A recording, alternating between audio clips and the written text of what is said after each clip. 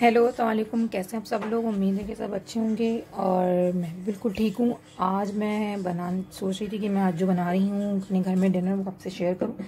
तो मैंने सोचा क्यों नहीं करती कि आज मैं बना रही हूँ chicken fajita pizza with white cream sauce. White sauce तो एक उसकी बनती है आ, मैदे की मगर मैं ये क्रीम के साथ बना रही हूँ बहुत ही मज़े का बनता है। तो लंबे प्रोसेस है तो स्टार्ट करते हैं फिर आपको बताते हैं आगे के इंग्रेडिएंट्स उसी वक्त बताती रहूँगी। सबसे पहले हमने ये तेल लिया है एक खाने का चम्मच और फिर इसमें हम ये चिकन जो है ये जो हमने स्ट्रिप्स इस तरह काट के रखी है। अगर आप चाहें जिस तरह आपकी मर्ज़ी हो जिस तरह काटें। तो ये तो मैं तो एक और लार्ज पिज़्ज़ा और एक नॉर्मल साइज़ का जो रेगुलर पिज़्ज़ा होता है वो बना रही उसमें बन जाएगा। तो मैं चिकन इसमें ऐड करूँगी और इसको फ्राई करूँगी।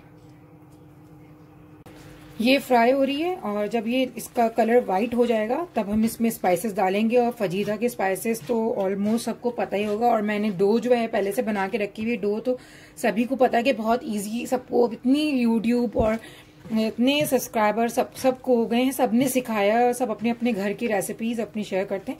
तो जब ये वाइट हो जाएगी, तब इसमें स्पाइसेस ऐड करेंगे और बताएँगे क्या है। तो मैं अभी से वाइट कलर चेंज करती हूँ, उसको फ्राई करती हूँ, फिर इसमें स्पाइसेस डाल ये देखिए, इस तरह का इसका ये कलर हो गया होगा। मैंने फ्लेम को थोड़ा हल्का कर लिया। अब इसमें मैं डालूँगी गार्लिक पाउडर अगर किसी के पास गार्लिक पाउडर अवेल नहीं है तो आप लहसन का पेस्ट भी डाल सकते हैं, एक खाने का चम्मच। और इसमें जाएगा ये लाल मिर्च।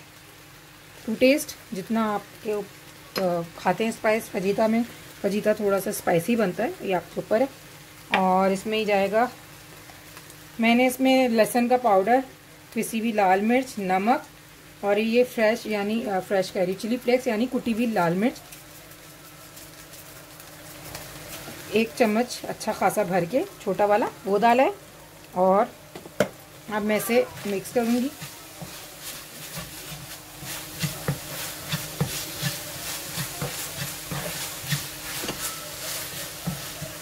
अब इसमें जाएगा ये ये ग्रीन शिम, शिमला मिर्च। रेड वाली बेल पेपर यानी रेड वाली शिमला मिर्च और अनियन ठीक है? ग्रीन और लाल शिमला मिर्च और प्याज को हमने स्लाइस करके मिक्स कर दिया और इसको बस स्टर फ्राई करेंगे हल्का सा। और इसमें जाएगा दो चम्मच लेमन जूस बस।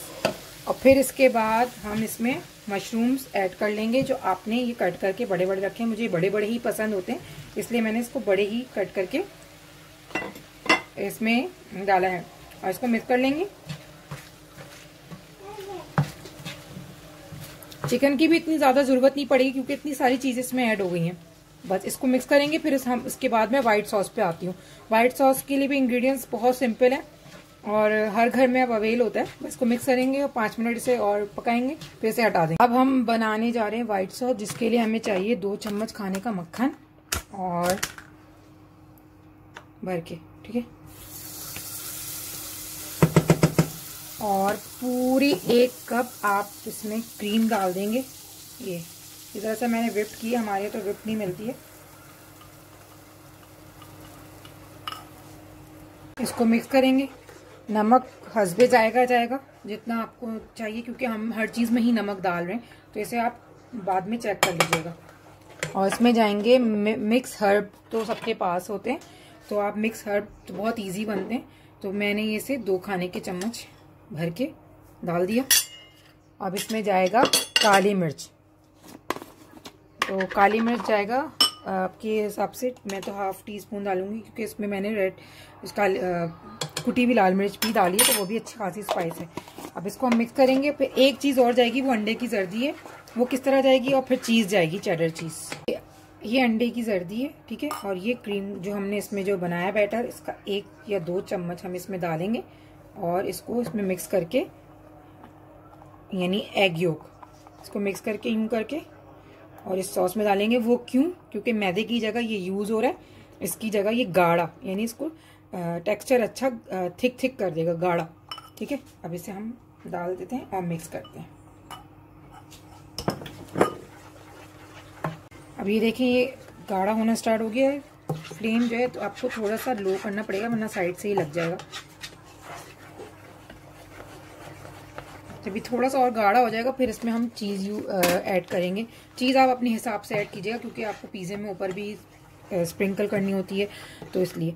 ये बहुत मज़े का, बहुत डिफरेंट और बहुत मज़े का एक फ्लेवर होता है इस पिज़्ज़े का। भाई देखिए, आम पिज़्ज़ों में तो टोमेटो का टेस्ट होता है, जो कैचअप होता है। अब इसको इस तरह बनाएँगे।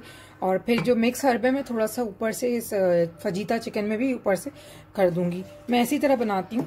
कोई मेरी इतनी ये मेरी अपनी ही बनाई हुई रेसिपी है। इसको मैंने किसी से वो नहीं किया। और वाइट सॉस तो हर तरीके का बनता है। तो आप एक कॉम्बिनेशन होता है वेरिएशन होती है उसमें आप किस तरह आप उसको, उसके साथ कंट्रास्ट कर लें। समझे? कंट्रास्ट हो रहा है। ये जिस तरह गाढ़ा हो रहा है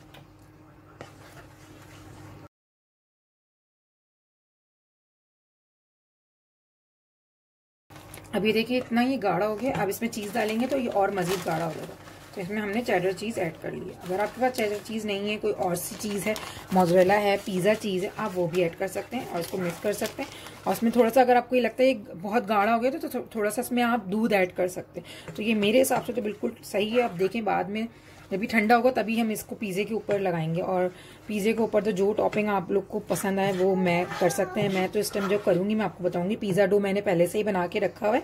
अब बस आपके सामने उसको मैं ऊपर टॉपिंग करके दिखाऊँगी।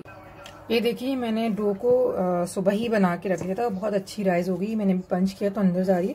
तो इसमें मैक्सिमम दो बन जाएँगे अच्छे खासे। अब मैं इसे बना रही हूँ टेक्निक करूँगी, यानी इसे मैं और थोड़ा सा पंच करूँगी। फिर इसके बाद मैं आपको टॉपिंग करके बता ये देखें, ये मैंने इस पर अब जो है बना ली है। अब इसमें मैं सॉस लगाऊँगी, जो आपके सामने मैंने बनाई थी। ठीक है? नॉर्मल ठंडी हो गई इसको हम करके लगाएँगे। अब इस पर हमने सॉस लगा लिया अब ये जो हमने इसका फजीता का बनाया था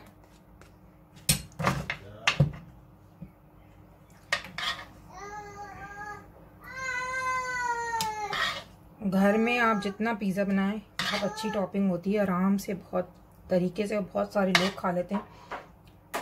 वही चीज़ें वो लोग भी यूज़ करते हैं। अब ये वाला बना के देखिएगा ये बहुत ही मज़े का बनेगा।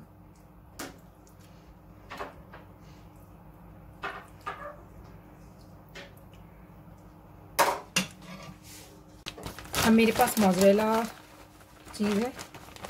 ये मैं डाल रही हूँ। फिर इसमें चेडर चीज़ जाएगा।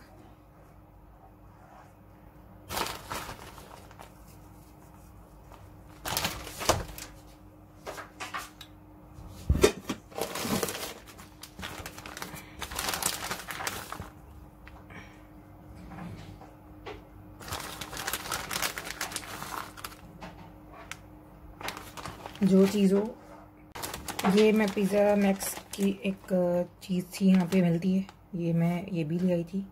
मैंने कहीं भी डाल देते थोड़ा टेस्ट आ जाएगा। और अब इसमें मैं डालूँगी ये जेली पैनो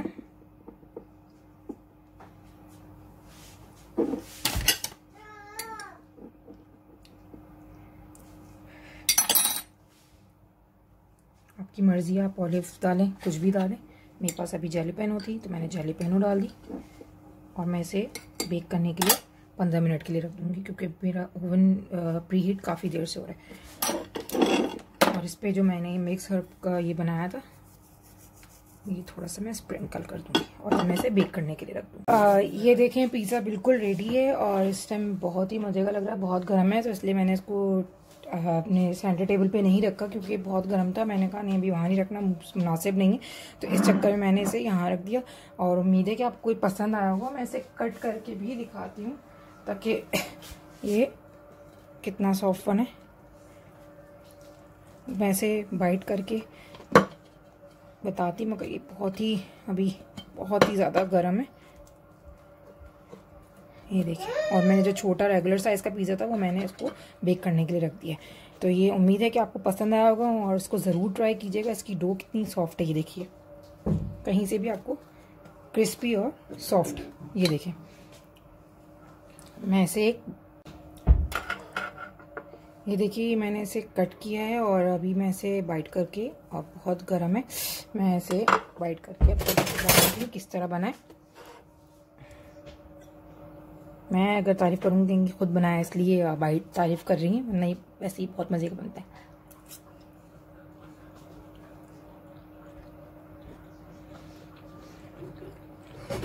यकीन जानिए इसका एक एक चीज़ की जो फ्लेवर है बहुत अलग होता है। हम्म, फजीते का अलग होता है सॉस का अलग होता है ब्रेड का अलग होता है। और मैं इसे दोबारा बाइट करूँगी मुझे बहुत भूख लगी है। ये देख लीजिए।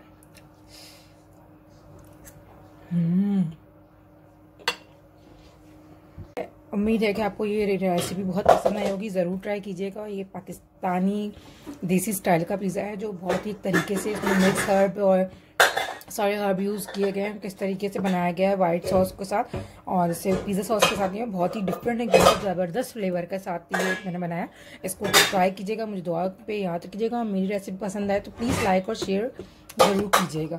चलती हूँ, अपना ख्याल रखिएगा। फिर एक नई रेसिपी के साथ हाजिर होती हूँ, जो अपने घर में बनाती हूँ मैं। फिर अपना ख्याल रखिएगा। अल्लाह हाफिज़।